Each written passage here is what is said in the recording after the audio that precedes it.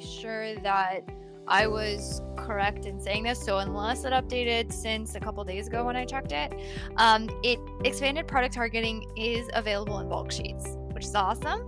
Uh, the not so great part is that you can't actually push updates to bids um, in expanded targeting. They are working on that. They're aware of the disconnect. Sometimes new ad types roll out, and the other team who's working on the back end with the bulk files uh, just hasn't. It, they just have to update um, their systems, which they haven't quite yet. So, right now, the only real benefit of using bulk sheets for expanded product targeting is going to be um, for data analysis. So that's great.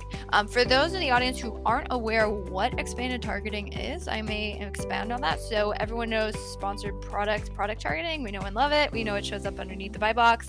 Um, if you go and look at the search term reports in relation to ASINs you are targeting, you will only show up on that specific child ASIN page, um, which is great. That's actually not the case for sponsored display ads. If you run product targeting and sponsored display ads, you will show up for all of the different variations, which is kind of an interesting twist.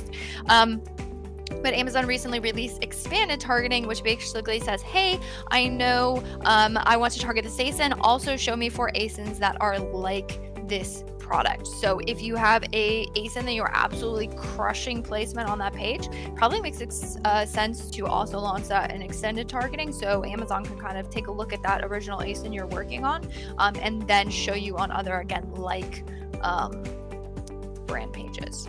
Hey, it's Ria Mittal here. Before you leave, make sure to subscribe to SellerApp's main YouTube channel where we upload all things Amazon and some how-to guides that will make sure that you're running on Amazon. You will not get this anywhere else. Until the next time, happy selling!